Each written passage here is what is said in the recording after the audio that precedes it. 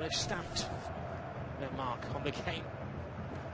And Real, considering making a substitution with seven and a half minutes gone.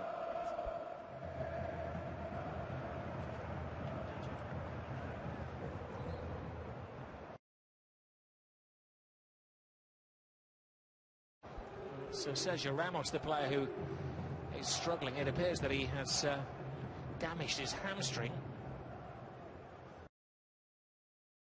Now Nacho is the player who's preparing to come on. He's not a natural centre half. He has played there in the past, but a little like tonight, normally in, in emergency circumstances. I would imagine if there's any doubt that Ancelotti has to make the change, Ramos, we know exactly the personality he is. He would want to stay on. You can see the other stretches there.